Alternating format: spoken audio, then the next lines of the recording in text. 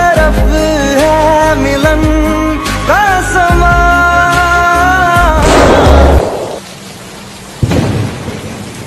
हमारी अधूरी कहानी